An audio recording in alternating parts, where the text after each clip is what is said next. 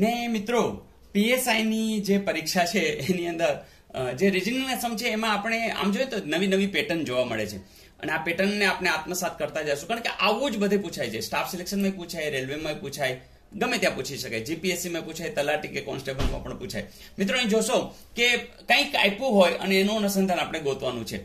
જેમ કે અહીંયા વિન્ડો પણ અહીંયા પછી W O D N I W તો આનું પેટર્ન તમે નીચે પણ લખી શકો છો. પણ અહીં તો મને સીધે સીધું દેખાય છે કે જો આ ક્રમ છે ને, એનો જ ઊંધો ક્રમ દેખાય છે. જો પહેલા ડબલ્યુ તો કે હા, પછી ઓ તો કે હા, પછી ડી પછી હા એન આઈ એટલે કે ઊંધું લખવાનું છે. તો હવે આને ઊંધું લખવું હોય તો શું લખાય? તો કે પેલા આર લખો, પછી ઈ લખો, પછી ડબલ્યુ લખો, પછી એ લખો, પછી આર લખો, પછી ડી લખો. બરાબર? રિવોર્ડ રિવોર્ડ જો ક્યાંય છે, તમે કહેશો, ઊભા રહેજો, હા. રિવોર્ડ આર્યુ યસ બરાબર ને? R E W A R D તો એટલે એવું નથી કે આ રિવોર્ડ જેવો મસ્ત શબ્દ થતો જ હોય, પણ અહીં થઈ રહ્યો છે. તો આવું કંઈ હવે જો અહીંયા, હવે તમે એ રીતે જોશો ને તો તમને કેટલુંક સમજાશે.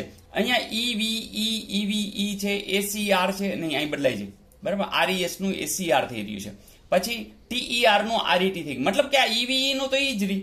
મતલબ કે તંતનની પેટર્નમાં બદલાવ્યા છે. ચાલો, આને બદલાવી. આ ત્રણની પેટર્ન જુઓ છે તંતનની પેટર્નમાં બદલાવી નાખી. યુ ઓ એમ ચલો, અહીંયા એ ટી એન પછી અહીંયા એસ એન આઈ જો આવું કંઈ છે? જો આ ખાલી એસ એન આઈ કરો ને તો ખબર પડી કે સર આ લાગે છે. જો જો A T N U M yes બિલકુલ સાચું છે. તો મિત્રો, ફરીથી કહું છું, ખાસ કશું નવું હોતું નથી. અને બીજી વાત રિઝનિંગ છે ને મિત્રો, એ રોકડિયા માર્ક છે.